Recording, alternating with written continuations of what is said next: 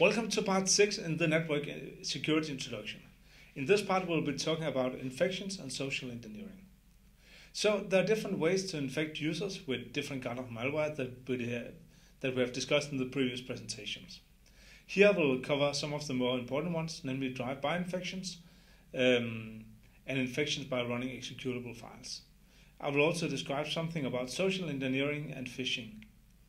Um, so drive-by infections happens when the user is visiting a website. Uh, the con computer can be infected simply by visiting this, this, website, so it doesn't have to, to do anything active. It doesn't have to download or install any execu executable files. There are different kinds of these websites. Some websites are made specifically with the aim of making an infection, and then you have the challenge in getting the users to these uh, malicious websites but it can also be that you have completely legitimate websites which are infected by a third party, for example, because there is an unpatched vulnerability in that server.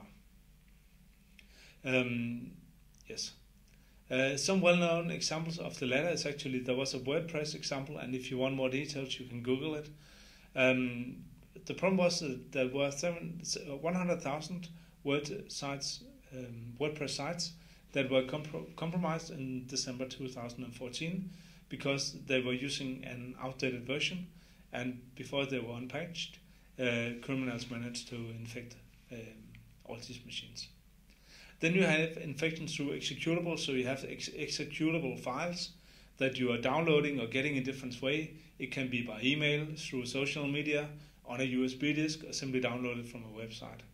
And often, if, if you have an antivirus program installed, it will give you a warning. But the problem with this kind of warning is that the users tend to override them. Um, in my opinion, also because the information they receive is not sufficient for them to make a decision. Um, and actually, this is leading us to the next topic, which is social engineering. Social engineering is all about tricking the user to do some something actively. For example, actually actively accepting to run infected files um, or scripts. And it's a kind of confidence trick where you try to gain the confidence of the user and then uh, trick him into doing something. And I think there are two important factors to mention here. One is that the user often doesn't have enough knowledge to know how to act when he sees a security warning. And secondly, the, the user decision might be impacted by the context, such as who is the sender, what kind of content is provided, and how personal is it. So somebody somebody managed to have spyware on your computer, so they know a lot of about what you're doing, or you have been traveling, and they can tell you, yeah, now that you are back from our hotel, please go to our website and fill in something. Um, uh, that can also be part of the trick. Um, the thing is, with antivirus, if the user can override it, it's all about tricking him into actually overriding it, for example, to install a file.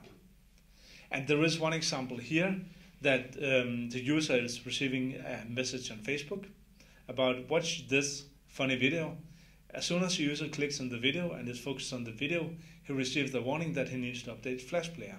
And Flash Player is something that we are so used to just updating that many users will try to, cl to click run here instead of saying no, which would be the, the good choice. So based on the yes, uh, then, then the user actually gives um, permission to install this, uh, this piece of malware. And there is another example here, which I will, which I will just show you. So that's a small, that's a very short introduction to um, social engineering. Then we have phishing, and phishing is not strictly related to malware. Uh, it's an, but it's an important, an important part of the overall cybercrime picture, where it's about tricking the, the user to provide different kind of information. So the idea is that you are tricking people to disclose private information, which could be social security numbers, credit card information, credentials for authentication services such as the Danish uh, digital identity, uh, access to email accounts, social media sites, etc. Uh, and it comes in many forms. That could be emails, websites, and so on. Um, and probably you have you have seen some examples already, like you receive an email from an administrator, please verify your account by sending us your username and password and so on.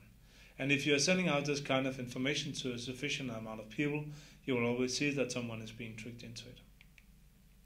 So here's an example of a phishing email from a Danish a payment provider, where, for example, you can see that the, the sender doesn't really fit well the bill. Um, another example from PayPal, which highlights some of the the typical things you will see in phishing. For example, that there is a generic greeting, uh, that there is a false sense of urgency.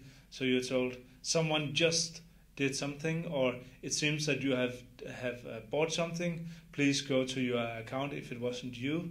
So uh, so some information that is trying to to um, to get people to click straight away before they really get to think. And then often there will be fake links, meaning that if you try to move to move the mouse and see what is really on the link, it will be different than what the link points to. And again, when providing these kind of links, there is often quite a quite a quite a lot of creativity. That PayPal could be spelled with a one instead of an L, so it really looks like the same like the same website.